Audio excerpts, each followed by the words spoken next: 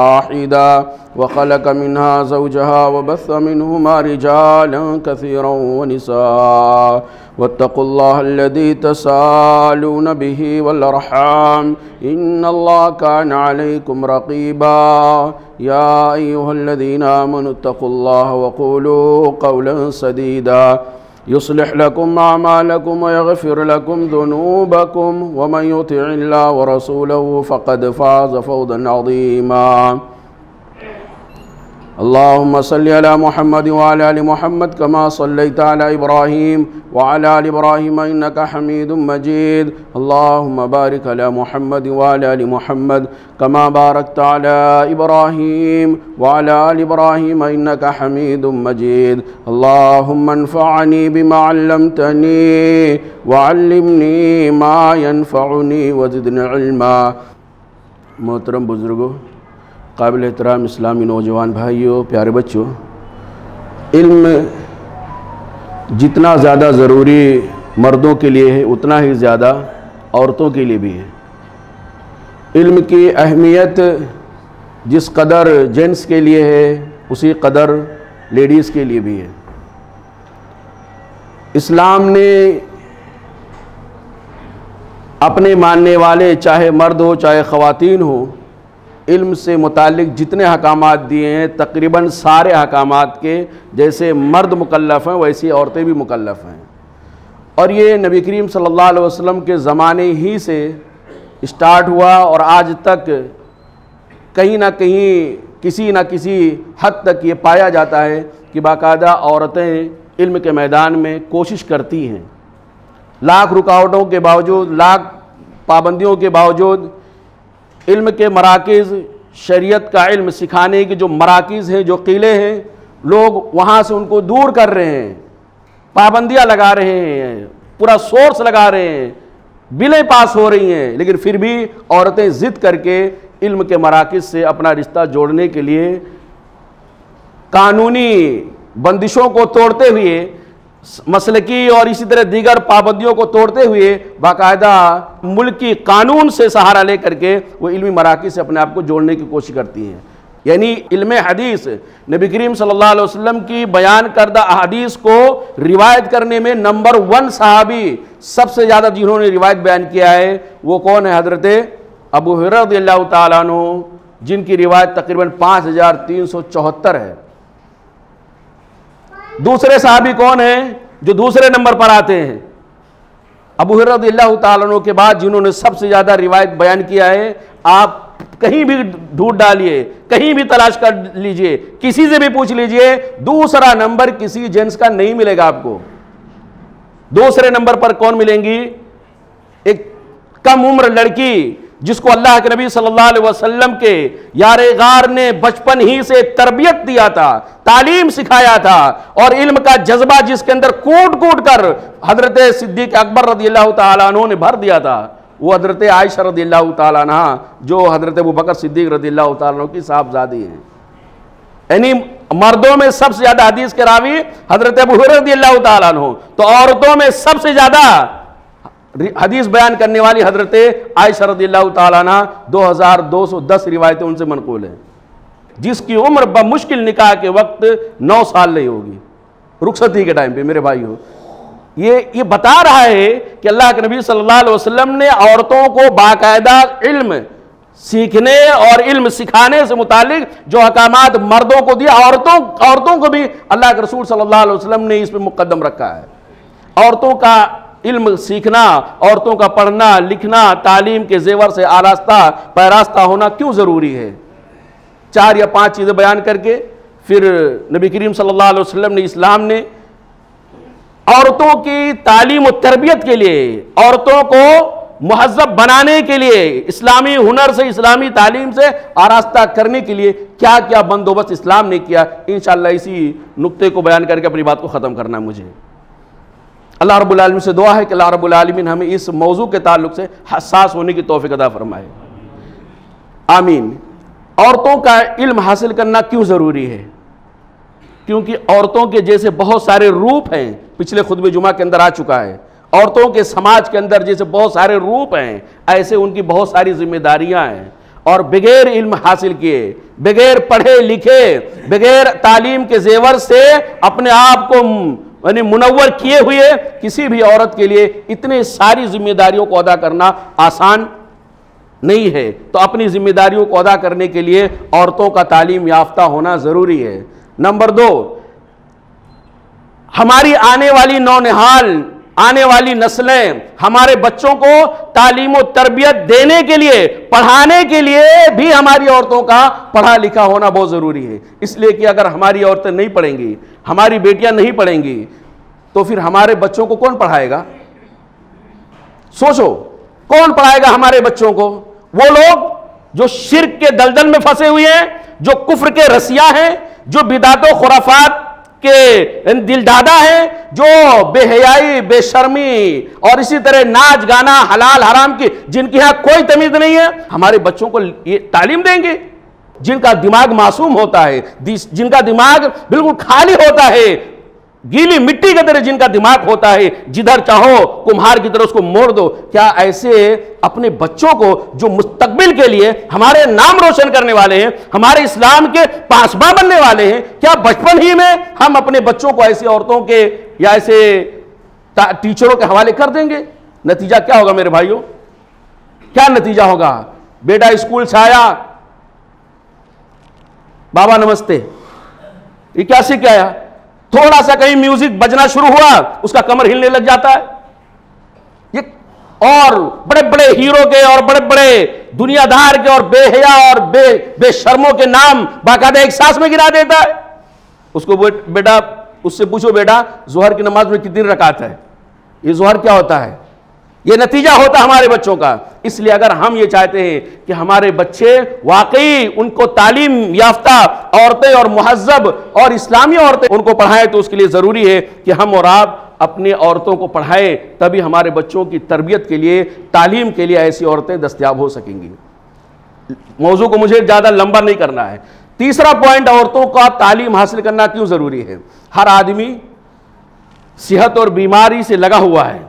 हमारी औरतों को कुछ मसाइल ऐसे होते हैं, वो भी बीमार होती हैं। जब मुसलमान औरतें, हमारी और आपकी औरतें, हमारी बहू बेटियाँ, हमारी बीवियाँ जब बीमार होती हैं तो हम ढूंढते हैं कि इमाम साहब कोई लेडीज़ डॉक्टर बताइए। ये जब हमारी औरतें बीमार होंगी, हमारी नौजवान बच्चियाँ बीमार होंगी तो इनका इलाज कौन करेगा? दो ही शक्लें हैं। या तो कुफ्र के अंदर, शिरक के अंदर और बेहियाई और बेशर्मी के अंदर डूबे हुए जेंट्स डॉक्टर करेंगे, जिनके सामने हमारी बेटियों को सतर की जगह खोलना मजबूरी होगा, ये गर्चे जायज़ है। इसमें मैं ये नहीं कह रहा हूँ नाजायज है, लेकिन मजबूरी में जाके अपने सदर को खोलना पड़ता है और अपनी वो जगहों को दिखाना पड़ता है, जिन जगहों को वो अपने बाप को भी, अपने भाई को भी दिखाना पसंद नहीं करती है। और उसके बाद फिर नतीजा क्या होता है? उसके बाद नतीजा ये होता है कि पेपर में छपता है, फला डॉक्टर ने फला के साथ ऐसा कर दिया। वीडियो बना करके ब्लैकमेल किया जाता है। समाज में क्या हो रहा है? सब न्यूज़ के ज़रिए से हम अगर बगौर मुताला करें तो ये सारी चीज़ें हमारे लिए, कान खोलने के लिए और कान के पर्दे खोलने के लिए हमारे लिए काफ़ी होगा कि हम और आप, हमारी और आपकी औरतें अगर बीमार हो तो उनको बेहतरीन, अच्छी, ईमानदार डॉक्टर मिल जाए, इसके लिए हमें अपनी औरतों को पढ़ाना ज़रूरी है, अपनी बच्चों को पढ़ाना ज़रूरी है। अच्छा ठीक है, जेंट्स डॉक्टर को नहीं, चले, लेडी डॉक्टर के पास जाएँगे। आप देखिए डिलीवरी वार्ड में जाएँ जरा। जो सरकारी अस्पताल है, उसमें जाए डिलीवरी वार्ड में क्या पोजीशन है? प्राइवेट में भी ये है। लेडीज़ डॉक्टर जो आपकी और हमारी बहु बेटियों की इलाज करने वाली है, उसको शिरक कुफ्र और कि कुफ्र और शिर के अंदर डूबी हुई है। उसको ईमान क्या कहते हैं? ईमानदारी क्या होता है? सच्चाई क्या होता है? हलाल क्या होता है? हराम क्या? उसकी तमीज नहीं होती है। अब उसके बाद जब वो इलाज करने लग जाती है तो कैसे कैसे बड़े बड़े हादसा पेपर की हेडिंग बनते हैं कि देखो फला डॉक्टर ने, फला लेजी डॉक्टर ने इस बच्चे को चोरी करके फला इतने में बेच दिया। और उसके बाद फिर कहती, तेरे बेटे का इंतकाल हो गया। तेरे बच्चे का इंतकाल हो गया। जबकि वो बेच दिया जा चुका है। ये इसी तरह बच्चा चेंज कर दिया जाता है। बेटा होता है तो कहते, तेरे यहाँ बेटी होती है। ये होता है मेरे भाइयों, ये बेईमान और ईमान से कोसों दूर। लेडी डॉक्टरों की हालत है। इसलिए मेरे भाइयों, हमें और आपको अगर बेहतरीन, ईमानदार, सच्ची डॉक्टर चाहिए अपनी बहनों को, अपनी बेटियों के इलाज के लिए। तो कम से कम हम अपने घरों में, कम से कम समाज के अंदर ऐसी बेटियों को तैयार करना है, जो हमारी बहु बेटियों का इलाज कर सके। इसी तरह मेरे भाइयों, औरतों की तालीम क्यों ज़रूरी है? औरतों की तालीम इसलिए ज़रूरी है कि बहुत सारे मसाइल ऐसे होते हैं। औरतों के स्पेशल कुछ खसूसी मसाइल ऐसे होते हैं, जिनको हम और आप बयान नहीं कर सकते। कुछ लोग बयान करने की कोशिश करते हैं तो बहुत ज़्यादा, चूँकि वो शरीयत से नावाकिफ होते हैं, इसलिए वो बहुत ज़्यादा नमक मिर्च लगा करके इंजॉय के नाम पे जोक की तरह उसको बयान कर देते हैं। ओलमा दुआत मुबलगिन मुहदसिन कितना भी मसाइल को बयान कर रहे हैं फिर भी कुछ मसाइल ऐसे होते हैं जो एक औरत को औरत ही बता सकती है। एक औरत को एक औरत ही बता सकती है।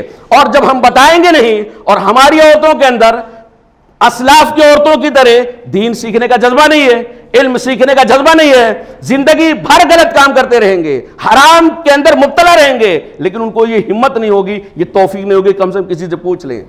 कुछ मसाइल ऐसे होते हैं जो मैं नहीं बता सकता, आप नहीं बता सकते, एक औरत को एक औरत ही बता सकती है। हज़रत उम्म सुलेम रदी अल्लाह ताला ये अल्लाह के नबी सलम के ज़माने में भी था। उम्म सुलेम रदी तु और कई अंसारिया साहबिया का नाम आता है। उम्म सुलेम रदी अल्लाह तना अल्लाह के रसूल सल्लल्लाहु अलैहि वसल्लम की खिदमत में पहुँच गई। एक रिवायत के अंदर है कि वहाँ हज़रत उम्म सलमा भी थी, नबी सल्लल्लाहु अलैहि वसल्लम की बीवी, और दूसरी रिवायत के अंदर नबी करीम सल्लल्लाहु अलैहि वसल्लम की दूसरी बीवी हज़रत आयशा रदी तना वहाँ थी। उम्म सुलेम रदी अल्लाह हज़रत अनस रदी की माँ। बड़ी ही वाकई क्या वो औरत थी। अल्लाह ताला ने उसको कितनी सलाहियत, कितना मलका दिया था। और दीन का दीन के लिए कितनी कुर्बानियों का जज्बा अल्लाह ताला ने उसको दिया था। अल्लाह ताला उसके कब्र को जन्नत का एक बुका बना है अल्लाह ताला उसके ऊपर रहमतें नाजिल करे। वाकई पढ़ा जाए तो समझ में आता है कि यार इंसान ने तो फरिश्ता लगती है। ये इंसानों की आबादी से बड़ी आबादी लगती है, बड़ी आबादी लगती है मेरे भाइयों। हज़रत में सुलेम रदी अल्लाह तला के रसूल के पास पहुँच गई। अल्लाह के रसूल अलैहि वसल्लम, आप उस औरत के बारे में क्या फतवा देंगे? ये सही बुखारी की रिवायत है। उम सलेम रदी अल्लाह के रसूल सल्लल्लाहु अलैहि वसल्लम आप उस औरत के बारे में क्या फतवा देंगे? जो ख्वाब में देखती है कि उसका शोहर उसके साथ हम स्त्री कर रहा है। आप क्या फतवा देंगे? ये नहीं, क्या उसके ऊपर ये गुस्ल करना वाजिब एहतलाम का मसला पूछ रही थी? हमारे नौजवानों को भी उनको भी पता नहीं एहतलाम किसको कहते हैं? एहतलाम में क्या फ़र्क है? मनी मदी के में क्या फ़र्क है? बहुत सारी चीज़ें होती है जो सफ़ाई सुथराई से ताल्लुक होती है, लेकिन हमारे नौजवानों को पता नहीं होता है। और उसी नापाकी की हालत में वो अपनी पूरी ज़िंदगी नमाज़, रोजा सब उसी में करते रहते हैं। ये सीखने की ज़रूरत है मेरे भाइयों। मेरे नौजवानों, खास तौर से वालदेन की ज़िम्मेदारी है कि ऐसे मौाक़े फराम करें, ऐसे दुरुस्त रखे जाएँ, ऐसे तरबती कैंप रखे जाएँ, जहाँ पर बच्चों को इस तरह की तालीमत सिखाई जाएँ। हज़रत सुलेम रदी अल्लाह ने पूछा, अल्लाह के रसूल, अगर एक औरत ख्वाब में देखती है वो जो एक मर्द देखता है, इन्हें इतलाम हो जाती है, जिसको नाइट फ़ाइल कहते हैं। जब ये पूछा तो हज़रत उम्म सलमा रदी अल्लाह तहा जो अल्लाह के रसूल सल्लम की बीवी थी, वो कहती हैं कि मैं शर्मा गई, और उम्म सुलेम से कहा फजाहत थी अनिसा अरे तूने औरतों को अल्लाह के रसूल के सामने रुसवा कर दिया? ये क्या पूछ रही है? इस तरह के सवाल अल्लाह के रसूल सल्लल्लाहु अलैहि वसल्लम से पूछा जाता। लेकिन उम्म सुलेम रदी अल्लाह क्या जवाब दिया? उम्म सुलेम रदी अल्लाह तहा ने जवाब दिया कि, ए अम्मा, उम्म सलमा रदी अल्लाह तहा या दूसरी बात के मुताबिक आयशा रदी अल्लाह तहा मेरे लिए ये ज़्यादा बेहतर है। कि मैं मसला अल्लाह के नबी सल्लल्लाहु अलैहि वसल्लम से खोल कर पूछ लूँ, सीख लूँ, ताकि मुझसे गलती ना हो। बनस्बत इसके कि जो प्रॉब्लम मेरे साथ हो जाए, जो मसला मेरे ऊपर आ जाए, और मैं उससे लाइलमी रहूँ, और ज़िंदगी भर गलत काम करते रहूँ, गलती पर रहूँ, ये चीज़ मुझे पसंद नहीं है। अल्लाह के रसूल सल्लल्लाहु अलैहि वसल्लम ने हज़रत उम्म सलमा रदिल्लाहु ताला को कहा ए उम्म सलमा तो उम्म सुलैम को कहती है, तेरी बतियत तेरे हाथ खा आलूद हो जाए? ये दुआया कलमात है। ताजुब के वक्त बोला जाता है। तो अल्लाह के रसूल ने कहा, ए उम्मे सलमा, तेरा हाथ खाक आलूद हो जाए। हाँ ए उम्मे सुलेम, बिला सुबह जब औरत ख्वाब में वो चीज़ देखे जो मर्द देखता है और जब उठे, उसकी आँख खुले और वो पानी को फील करे, इदा वजद तिल माँ, जब वो पानी पाए तो उसके ऊपर गुस्ल करना वाजिब हो जाता है। उम्मे सलमा रदी अल्लाह कहते अल्लाह के रसूल, ऐसा भी होता है? यानी मतलब क्या पता चला? बहुत सारी चीज़ें पता चला मेरे भाई। एक तो ये अल्लाह के रसूल सल्लल्लाहु अलैहि वसल्लम ने उम्मे सुलेम को मसला तफसील के साथ बयान किया। और जब हज़रत उम्मे सलमा रदी अल्लाह तला ने टोका कि तूने औरतों को रुसवा कर दिया अल्लाह के रसूल सल्लल्लाहु अलैहि वसल्लम के पास तो आप अल्लाह के रसूल सल्लल्लाहु अलैहि वसल्लम का नहीं, रुसवा नहीं किया है। उम्मे सुलेम को पूछना चाहिए, क्योंकि पूछ लेना ना पूछने से ज़्यादा बेहतर है। और उसके बाद अल्लाह के रसूल ने उनकी हिम्मत अफजाई भी किया। और हज़रत आयशा रदी की दूसरी रिवायत है कि एक औरत आई अल्लाह के रसूल सल्लल्लाहु अलैहि वसल्लम के पास। ये कुछ चीज़ें ऐसी होती हैं जो हमारे और आपके बस की बात नहीं, उसको शेयर करना, उसको बयान करना। एक औरत आई अल्लाह के रसूल सल्लल्लाहु अलैहि वसल्लम के ज़माने में। नबी करीम सल्लल्लाहु अलैहि वसल्लम के पास आए, कहा, अल्लाह के रसूल सल्लल्लाहु अलैहि वसल्लम, मुझे जो महीने का खून आता, ब्लड आता है, जब मैं वो ब्लड ख़त्म हो जाए, खून ख़त्म हो जाए तो मुझे गुस्ल कैसे करना चाहिए? अल्लाह के रसूल सल्लल्लाहु अलैहि वसल्लम ने कहा, कपड़े का टुकड़ा ले और उसमें खुशबू मल ले मुश्क मल ले और उसके बाद फिर उसे से पाकि हासिल कर ले, तहारत हासिल कर ले। अब वो उस औरत ने कहा, अल्लाह उससे कैसे? अल्लाह के रसूल सल्लल्लाहु अलैहि वसल्लम ने कहा, भाई, अल्लाह की बंदी कपड़े का टुकड़ा ले ले और उस पर खुशबू मल ले और उसे तहारत हासिल कर ले। उसने कहा, अल्लाह के रसूल, ऐसे कैसे करूँ? हज़रत आयशा रदी अल्लाह कहती मैंने उसका हाथ पकड़ा उस औरत का और खींच करके अंदर ले गई। और उसको मैंने बताई कि देख, ये अल्लाह के सल्लल्लाहु अलैहि वसल्लम समझा रहे हैं, तेरे समझ में नहीं आ रहा? इसका मतलब ये है कि जहाँ खून का हिस्सा होता है, खून का जो इलाका होता है एरिया होता है, उस पर उस खुशबू वाले कपड़े को मल दे, उसको खुरच दे, ताकि जो बदबू की जगह होती है, या जहाँ बदबू आने का चांस है, वहाँ खुशबू आ जाए। ये तहारत हासिल करने का अल्लाह के रसूल सल्लल्लाहु तरीका बताया। तो मेरे भाइयों अर्ध करने का मतलब ये है कि अगर हम अपनी औरतों को ये बातें नहीं बताएँगे, हम अपनी औरतों को इस्लाम की तालीमत से मुजल्ला नहीं करेंगे, अपनी औरतों को तालीम और इल्म से दूर रखेंगे, उनको मसले मसाइल नहीं बताएँगे तो फिर ऐसी सूरत पूरी नस्ल जिहालत पर चली जाएगी। कोई पुरसाने हो, कयामत के दिन फिर पूरी नस्ल दुनिया के अंदर तो तबाही आएगी, आखिरत में भी उससे खतरनाक तबाही आएगी। हज़रत आयशर इसलिए कहती थी नमन निसाओ निसाउल अंसार। सबसे बेहतरीन औरतें अंसार की औरतें, सबसे बेहतरीन औरतें अंसार की औरतें हैं कि शर्म हया उनको दीन सीखने में रुकावट नहीं बनता था। जहाँ नहीं शर्माने का, वहाँ शर्माते हैं। और जहाँ शर्माने का वहाँ दूर दूर तक शर्म हया नाम की कोई चीज़ नहीं आती है। मेरे भाइयों तो ये औरतों को तालीम याफ्ता होना इसलिए ज़रूरी है ताकि वो मसले मसाइल और दीन का कमा को इल्म हासिल करके नबी करीम सल्लल्लाहु अलैहि वसल्लम की लाई हुई हिदायत के मुताबिक वो ज़िंदगी गुजार सके और अपने आने वाली बच्चियों की तरबियत कर सके। इसलिए मेरे भाई औरतों की तालीम खातन की तालीम क्यों ज़रूरी है? उसकी एक बुनियादी वजह यह भी है कि इस दिवाजी ज़िंदगी बुलूगत के बाद, लड़की के बड़ी होने के बाद जो उसकी शादी होती है, उसकी इजवाजी ज़िंदगी होती है, वो बेहतरीन तरीके से औरत हैंडल कर ले जाए, उसके लिए भी इल्म का होना बहुत ज़रूरी है। क्योंकि आजकल हम समाज के अंदर देखते हैं कि एक औरत की शादी होती है, लड़की की शादी होती है, लड़कों वालों की भी कम कसूर नहीं है। हदीसें बराबर कहीं कहीं अपने मतलब की फिट कर लेते हैं और शादी होने के बाद अपने सर पे बैठा लेते हैं। जब सर पे से पानी ऊपर चढ़ जाता है तो फिर ऐसी तो बहुत प्रॉब्लम पैदा होता है। हमारी जो लड़कियाँ होती हैं, हमारी जो बेटियाँ होती हैं, जब उनकी शादी होती है तो उनको ना शिरक किसको कहते हैं? कुफ्र किसको कहते हैं? ईमान के अरकान क्या है? इस्लाम के अरकान क्या है? बड़ों का अदब क्या है? छोटों पर शफकत का मामला क्या है? सास ससुर के क्या हुकूक है? शोहर के क्या हुकूक है? देवरानी जेठानी के क्या हुकूक? वो सारे हुकूक उनको पता नहीं होता है। वो तो कहती है, मैं इस घर की रानी।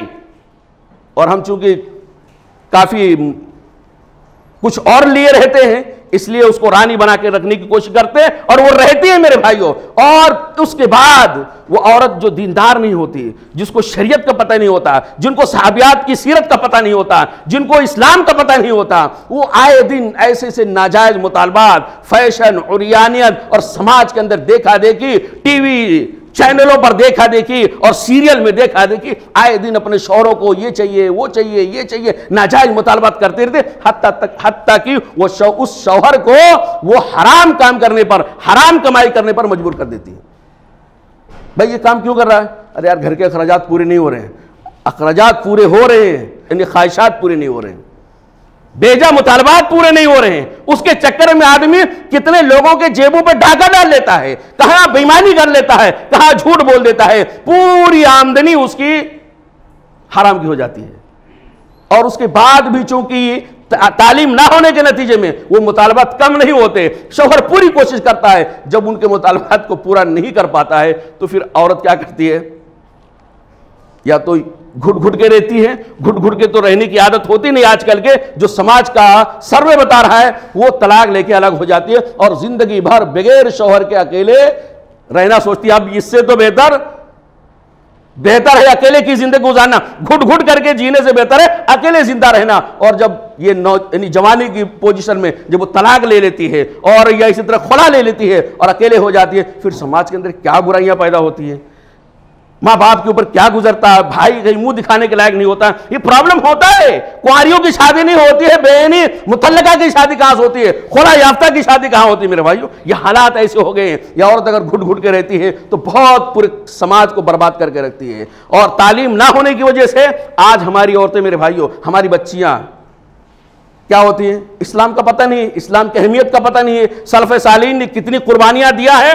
अल्लाह कि रसूल सल्लल्लाहु अलैहि वसल्लम ने और आपके साहब कराम ने और आपकी साहबियात ने हम तक इस्लाम पहुँचाने के लिए कितनी कुर्बानियाँ दिया है, कितना कीमती है ईमान। ईमान की दौलत का अंदाज़ा ना रहने की वजह से वो जवानी जब शबाब पे होती है तो ऐसी सूरत में शैतान उनके साथ खेल जाता है और वो अपने ईमान को बेच डालती है, अपने इस्लाम का सौदा कर लेती है, इस्लाम छोड़ देती है, मुर्तद हो जाती है, गैरों के साथ चली जाती हैं और फिर माँ बाप का कोई जर्रा बराबर परवाह नहीं होता। माँ बाप की इज़्ज़त को ऐसे ही झाड़ देती है वो लड़की, जैसे नाक पे कोई मक्खी बैठी हो, झाड़ दिया जाता है। और उसके बाद कोर्ट में शादी हो जाती है और लाके दिखाया जाता है, देखो मैंने शादी कर लिया और लड़का कौन था? गैर मुस्लिम। ऐसे वाकयात हैं, है कि नहीं? बहुत है। लेकिन मेरे भाइयों, अगर तालीम उसको पता होगा, शरीयत का इल्म उसको पता होगा, वो पढ़ी लिखी सलीकामंद होगी तो किरदार क्या निभाएगी? उसकी नहीं होगी, उसको अपना कर लेगी। हज़रत उम्म सुलेम रदी अल्लाह ही का नाम बार बार पढ़े उनकी सीरत जरा। उम्म सुलेम रदी अल्लाह के शौहर का इंतकाल हो गया। बहुत ही खूबसूरत, बहुत ही समझदार, बहुत ही दूरंदेश, और वाकई उनका चर्चा था कि उम्म सुलेम जैसी यानी होनहार लड़की, या होनहार औरत और सलीका मंद औरत, मक्का, मदीना के अंदर बहुत कम है। शौहर का इंतकाल हो गया, बेवा हो गई। अबू तलहा रदी अल्लाह को पता चला, अबू तलहा को पता चला सोचा, आज तो अच्छा मौका इतनी होनहार औरत, अगर मेरी निकाह में आ जाए तो इतना अच्छा है।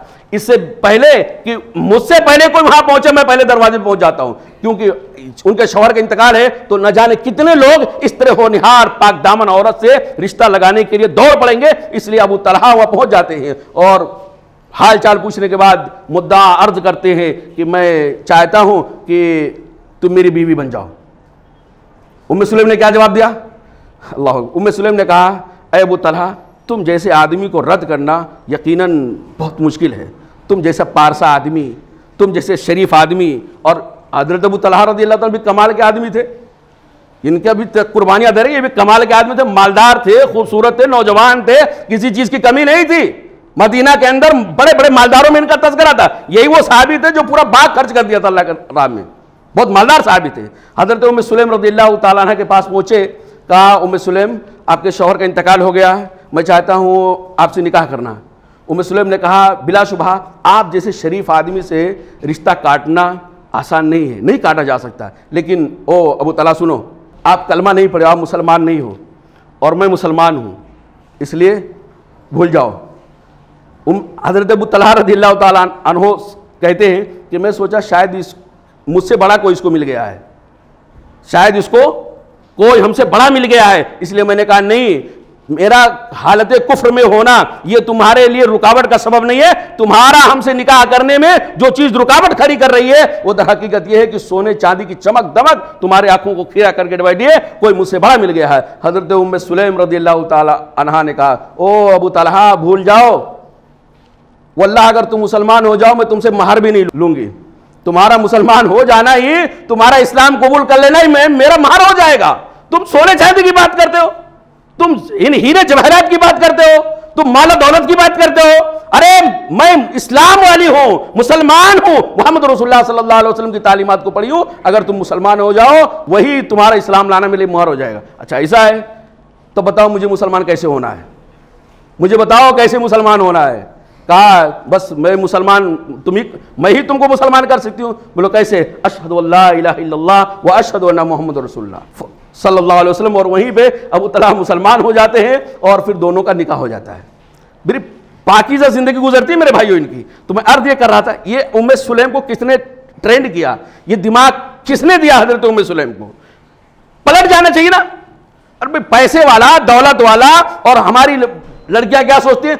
इल्म की, यानी शरीयत के इल्म से, नावाकफियत की वजह से, ईमान और इस्लाम की कदर ना होने के नतीजे में आखरत की कमा हक हो यकीन ना होने की वजह से, जन्नत जहन्नम पर यकीन कमज़ोर होने की वजह से, हमारी औरतें, हमारी बेटियाँ फ़ौरन अपने ईमान का सौदा कर बैठती हैं। उम्मे सुलेम को किस चीज़ ने, किस चीज़ ने यह दिमाग दिया? कि नहीं तो उसकी नहीं होने का, उसको अपना बना लेने का। और उसके बाद फिर उनकी तारीख उठा उठा के देखे। तो मेरे भाइयों अर्थ करने का मतलब ये कि इस दिवाजी ज़िंदगी अगर बेहतर तरीके से गुजारना है खानदान को संवारना है तो उसके लिए वाहिद ज़रिया यह है कि हम अपनी बेटियों को तालीम याफ्ता बनाएँ। इस्लाम ने औरतों की तालीम के लिए क्या बंदोबस्त किया है? बहुत ही कम वक्त में इस चीज़ को मुझे बयान करना है। इस्लाम ने औरतों की तालीम के लिए पहला बंदोबस्त यह किया है कि जहाँ तालीम मिलता है, जहाँ इल्म मुमकिन है, जहाँ सीखने सिखाने के मराकज हैं, वहाँ औरतों को, जैसे मर्दों को भारा है, ऐसे औरतों की भी शिरकत को ज़रूरी करार दिया। पाँच नमाजें जुमा का खुतबा, ईदैन का खुतबा और अरफात और मिना के खुतबों में औरतों की शिरकत को ज़रूरी करार दिया है। दिया कि नहीं दिया? पाँच नमाजों में अल्लाह के रसूल ने कहा, अगर औरत तुमसे इजाज़त मांगे अल्लाह की बंदिया, मस्जिद जाने से तो मत रोको। जुमा के खुतबे के बारे में एक साहबिया कहती है, मैंने अल्लाह के रसूल सल्लल्लाहु अलैहि वसल्लम से सूर्य काफ खुतबे जुमा के अंदर पढ़ते हुए सुन सुन करके मैंने याद कर लिया। और ईदैन के लिए अल्लाह के रसूल सल्लल्लाहु अलैहि ताकीदी हुक्म दिया, हत्ता की औरत नापाक हो। नमाज़ नहीं पढ़ती, नमाज़ पढ़ने की पोजिशन में नहीं है। फिर भी अल्लाह के रसूल ने कहा, उसको जाना है ईदगाह। क्यों इसलिए जाएगी? कम से कम खुतबा सुनेगी और खुतबा सुनने के बाद जो दुआ होगी, उस दुआ के अंदर भी शरीक रहेगी, अरफात में जाएगी, मेना में जाएगी, मुस्तलफा में जाती है और वहाँ पे खुतबों के अंदर शरीक होती है। एक औरत ने कहा रसूल सल्लल्लाहु अलैहि पर्दा नहीं है तो क्या जमाना रहा होगा? हमारी ये औरतें तो बस छह महीने, पाँच महीने पे पर्दा चेंज करती हैं, नकाब चेंज करती हैं। कहते हैं, अल्लाह के रसूल, किसी औरत के पास नहीं है तो दो शेजा है, बूढ़ी है, औरत है, नापाक है, जो भी है, सबको जाना घर में किसी को नहीं रहना है। अल्लाह के रसूल सल्लम पर्दा नहीं है तो दुपट्टा नहीं है, नकाब नहीं है, चादर नहीं है किसी के पास तो तो अल्लाह के रसूल सल्लल्लाहु अलैहि वसल्लम ने कहा कि अपने बाजू वाली बहन से वो चादर उधार ले ले, या दूसरी बहन जिसका चादर बड़ा है, या जिसके पास दो चादर है, जिसके पास दो नकाब है, एक नकाब खुद ओढ़ ले, दूसरी नकाब अपनी दूसरी बहन को दे दे। लेकिन जाना है तो जाना है। खुतबे के अंदर क्या होता है मेरे भाई अल्लाह के रसूल सल्लल्लाहु अलैहि वसल्लम ने इसी तरह ईदेन के अंदर स्पेशल, और चूँकि लाउड स्पीकर था नहीं माइक था नहीं कि दूर दूर तक आवाज़ पहुँच जाए। दिन ब दिन मुसलमानों की तादाद बढ़ती जा रही थी। अल्लाह के नबी सल्लल्लाहु अलैहि वसल्लम ने औरतों की तालीम का इतना ख्याल किया है इतना अहतमाम किया है कि मर्दों को खुतबा देने के बाद ईदैन के अंदर औरतों के बीच में जाते थे। हज़रत बिलाल रदी अल्लाह साथ में होते थे। उनको एक, एक लंबा खुतबा के रसूल सल्लल्लाहु अलैहि वसल्लम दिया। उस खुतबे के अंदर जो आप सल्लल्लाहु अलैहि वसल्लम बयान किया वो है कि औरतों तुम लोग कसरत से सदका सदका करो, सदका खैरात करो, गरीबों का ख्याल रखो, क्योंकि तुम्हारी तादाद मैंने जहन्नम में ज़्यादा देखा है। तो ये खुतबा स्पेशल औरतों के लिए जुमा, यानी ईद के अंदर या बकर ईद के अंदर, अल्लाह के रसूल ने उनको खुतबा दिया। और यही नहीं, औरतों का जज्बा भी देखिए। अल्लाह के रसूल सल्लल्लाहु अलैहि के पास आई कहा, अल्लाह के रसूल सल्लल्लाहु अलैहि वसल्लम, ये मर्द हमेशा आपके साथ रहते हैं। सफ़र हज़र हो, जहाँ हो, मस्जिद हो, रात हो, दिन हो, उनका लिए कोई महरम का मसला ही नहीं है। हम लोग तो बच्चे हम दो, हम लोग पढ़े, लेडीज़ जात औरतें हम हैं। अल्लाह के रसूल सल्लल्लाहु अलैहि वसल्लम जितना आपके पास मर्द हजरात आते हैं, उतना हम लोग आपके पास नहीं आ पाते हैं। और जितना आप बोलते हैं, जितना आप सिखाते हैं, मर्द हजरात, उसमें ज़्यादा ले लेते हैं। अब अल्लाह के रसूल हमारे लिए भी एक दिन स्पेशल बारी बनाए। एक दिन अपनी मर्ज़ी से तय करें। उस दिन आप ऐलान करें तारीख फिक्स करें डे फिक्स करें। और उस दिन हम औरतें जमा हो जाएँगी। आप वहाँ आए, अल्लाह के रसूल सल्लल्लाहु अलैहि वसल्लम हमको दीन की तालीम सिखाएँ। अल्लाह के रसूल सल्लल्लाहु अलैहि वसल्लम कहा हमारे ज़माने में क्या फतवा दिया जाता? है, औरत होकर मस्जिद में आएगी, फितना बर्पा करने के लिए। अल्लाह के रसूल सल्लल्लाहु अलैहि वसल्लम ने कहा, डांटा नहीं, डपटा नहीं। कहा, ठीक है, फला दिन तुम लोग फला जगह पे जमा हो जाना, मैं वहाँ आ जाऊँगा। और अल्लाह के रसूल सल्लल्लाहु अलैहि वसल्लम के दिए हुए दिन पर साहबिया जमा हुई। अल्लाह के रसूल सल्लल्लाहु अलैहि वसल्लम जाके खुतबा दिया। बहुत दिन की तालीम सिखाया। उन तालीमत में से एक तालीम अल्लाह के रसूल ने यह भी बताया कि अगर कोई औरत, यानी किसी औरत के तीन बेटों का इंतकाल हो जाए तो वो बेटे उसके लिए जहन्नम से आड़ बन जाएँगे। एक साहबिया खड़ी हो गई। अल्लाह के रसूल सल्लल्लाहु अलैहि वसल्लम, आपने तीन कहा, किसी का दो ही हो तो? किसी के, किसी का दो ही बेटा बचपन में इंतकाल कर गया हो तो अल्लाह के रसूल क्या वो बेटा भी या वो औलाद भी उसके लिए जहन्नम की आड़ बनेगी? तो अल्लाह के रसूल सल्लल्लाहु अलैहि वसल्लम ने कहा हाँ दो बेटा भी जिसका इंतकाल कर जाए, सब्र करे, शर्त है सब्र का। सब्र करे जजा फदा ना करे अल्लाह से सवाब की उम्मीद रखे तो वो दो बेटे भी उसके लिए जहन्नम से आड़ बन जाएँगे। तो मेरे भाइयों ये अल्लाह के रसूल सल्लल्लाहु अलैहि वसल्लम के अहतमाम थे औरतों की तालीम से। और यही नहीं बल्कि अल्लाह के नबी सल्लल्लाहु अलैहि वसल्लम ने लौंडियों को जिनकी कोई औकात नहीं होती हम तो अपने बेटियों को तालीम नहीं दे पाते। लौंडी जिसको हम नौकरानी के तौर पे इस, इस वक्त कहते हैं लेकिन लौंडी और नौकरानी में फ़र्क है। लौंडियों को अल्लाह के रसूल सल्लल्लाहु अलैहि वसल्लम ने हुक्म दिया कि जो आदमी जिस आदमी के अंडर में कोई लौंडी हो और वो उस लौंडी को तालीम सिखाता है, तरबियत देता है। इस्लाम की, इस्लाम, इन इस्लामी ूम से आरास्ता, पैरास्ता करता है और फिर उसके बाद उससे, उसको आज़ाद करके उससे निकाह कर लेता है तो उसको डबल अजर मिला है। लेकिन लोडियों की तालीम का भी अल्लाह के रसूल सल्लल्लाहु अलैहि वसल्लम ने इस कदर अहतमाम किया।